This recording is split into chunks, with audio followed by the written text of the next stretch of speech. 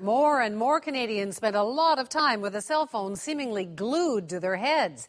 But how safe is that? In a moment, I'll be talking with a scientist about the link between our phone use and our health. But first, how much do we even know about what cell phone providers recommend for users? We hit the streets to ask people where do they keep their cell phone?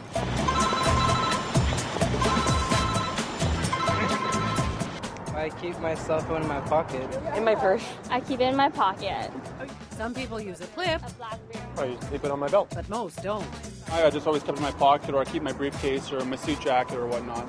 I didn't really have one of those clips. But have they read the fine print in the manuals that come with these phones? No. Just you started using it, didn't have any time to actually read it.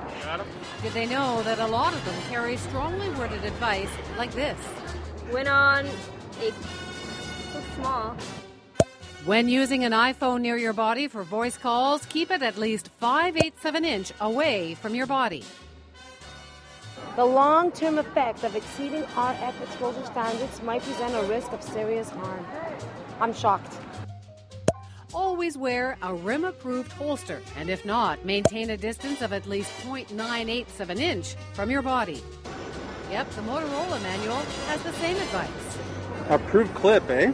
Or body harness. So 2.5 centimeters from your body when transmitting. So making a phone call, I have to keep it 2.5 centimeters. So I, I have to go like this when making a phone call. That doesn't make any sense. So if I want kids, I should keep my phone out over here.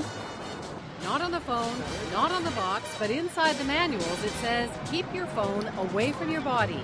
Why? Are you safe if you don't?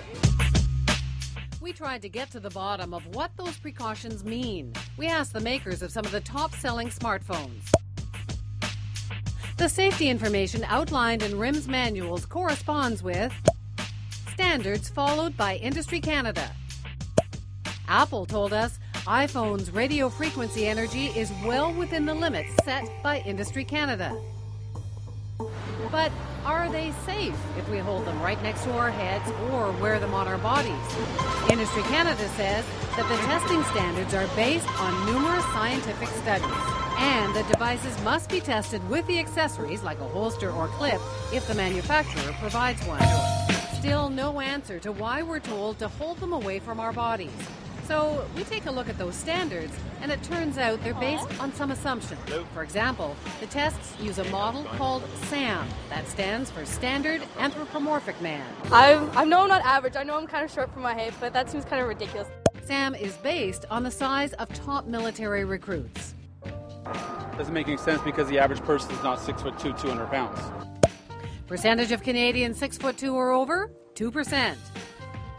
Percentage of Canadians 200 pounds or more? 18.1%. And there are no tests on what cell phone radiation does to kids. 17. I'm 17 tomorrow. Ross 17. I don't blame the company. I blame the government for not making stringent regulations upon this that they have to actually follow. No one gives us a clear answer on whether it's safe to hold it next to your body. I'm actually going to keep my cell phone over here, and I'm not going to actually have it on my body. But yeah, it didn't make any sense to me. But yeah, I'll definitely uh, see if investing in a clip or something. I feel like calling my daughter now. Don't put your phones in your pocket. So those manuals are just one of the issues raised in a new book by Devra Davis. She studies environmental effects, especially cancer risks. She's even shared a Nobel Prize with Al Gore. Her latest book reads like a conspiracy thriller, full of nasty plot lines. She accuses the cell phone industry of covering up the dangers. I met up with her in Washington and started with the cautions in those cell phone manuals. So, what does that mean that this is in here? It means that if you use the phone like that, you're not in compliance with the standards. But why don't they put it on the phone? Who's going to read? I didn't even know this was in here. Well, when I testified before the Senate, I called for warnings to be put on phones. Most people do not know that a cell phone is a small microwave radio. Most people do not know that microwave radiation at low doses over long periods of time has been linked to a variety of biological impacts and damage. In fact, just this spring, headlines after a huge research project from the World Health Organization told us not to worry. But what about the Interphone study? Among the Interphone team of investigators from 13 countries, some of the people aren't talking to one another. There's a big disagreement in that group. Davis says there are two big problems with the Interphone study. There's a conflict of interest because it was partly funded by the cell phone industry, and that most of the research doesn't look at heavy users, and the small parts that do found a doubling or even quadrupling of tumors. So, are you suggesting science is for sale? It's more subtle than that. I'm suggesting that scientists always need research money. We do. And if you're getting paid very handsomely to do work, and you get to go to very nice places to present your findings, there's a kind of series of subtle incentives that are operating. But and enough to not find an effect, to say, no, there's no effect? It's, it is uh, more complicated than that, frankly. But sometimes you can set up a study so that it's designed to fail. In her book, Davis says when negative effects are found, the cell phone industry goes out of its way to hide it. It's something I've heard before in stories that I've done here at CBC. In 1994, in Seattle, Henry Lai, with his study on rats, was one of the first to report that cell phone like radiation damages DNA, seen as a first hint of cancer. When his work was reported, his funding dried up. If three and a half years nothing happened, you wonder what's going. A few years later, the head of the U.S. body that figures out how much cell phone radiation is acceptable reported a problem. When Om Gandhi published a report showing the brains of smaller adults and children absorb much more radiation than that big man Sam, his long and profitable ties with the defense and electronics industry came to an end. In Davis's book, Gandhi is quoted as saying, Anytime there's evidence of an effect, there are many others brought in to show that there is nothing. Also in the mid 90s, the Canadian and American cell phone industry gave a Washington based scientist named George Carlo $28 million for research. He spent years telling people not to worry, until the end, when he says his studies started to show there was an effect. When uh, they found that we had findings of genetic damage and uh, increase in the risk of cancer, they cut off our money completely. Then in 2002, Franz Adlkofer, who had been chief of research for the tobacco industry in Germany, was given millions of euros by the EU to test the hypothesis that cell phone exposure is safe. Adlkofer was shocked when results came back showing genetic damage, damage that was 10 times more likely with the new, more powerful 3G phones. A few months later, Adlkofer was accused of fabricating his results. He's now battling what he calls an industry smear job. We reached him in Munich, Germany.